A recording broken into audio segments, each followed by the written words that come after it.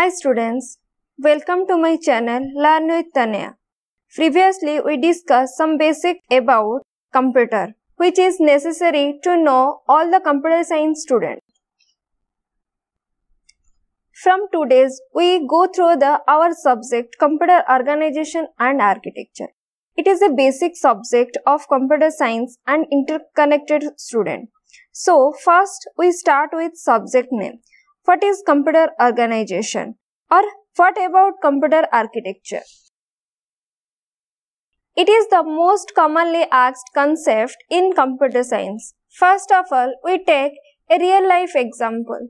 A person want to make room a house.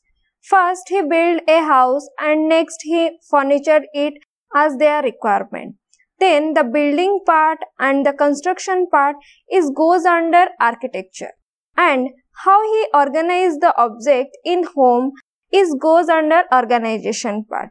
Like that, if we want design a computer system, then what are the component used, how to combine all the component so that it works, it is called computer architecture.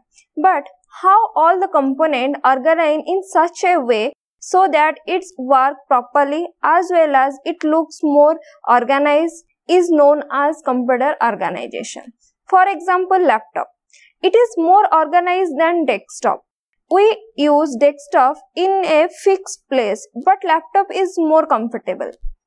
We can work anywhere. Both are doing equal job, but laptop is more helpful to user than the desktop. Then go for the definition part. Computer architecture is a functional description of requirement and design implementation for the various part of computer. Means what computer are required to function a computer system. For the design of computer system, how to implement the design and how a computer system work properly is goes under computer architecture. Again, it deals with the functional behavior of computer system. All the working process of computer system undergoes the architecture part. It comes before the computer organization while designing a computer. Before we organize all the modules or unit, first we check the system is work or not. If it work properly, then we organize it or design outer parts. But what the computer organization say? Computer organization comes after the decide of computer architecture first. First we design the computer system in architecture part, then we come to organizing secondly.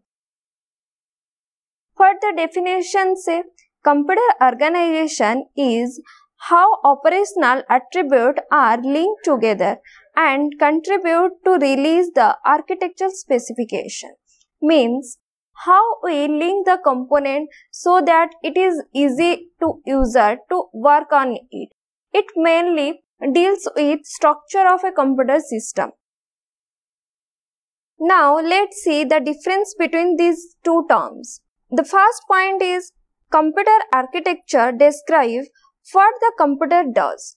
But in computer organization, it describes how it works or how a computer system works so that it gives more benefit to user. Next, it deals with functional behavior, means all the work performed by computer system deal by computer architecture. In computer organization, only the structural part will solve. Next, computer architecture deal with high-level design issues like input unit, output unit and control unit design. But computer organization deals with only low-level issues like circuit design, coding and all.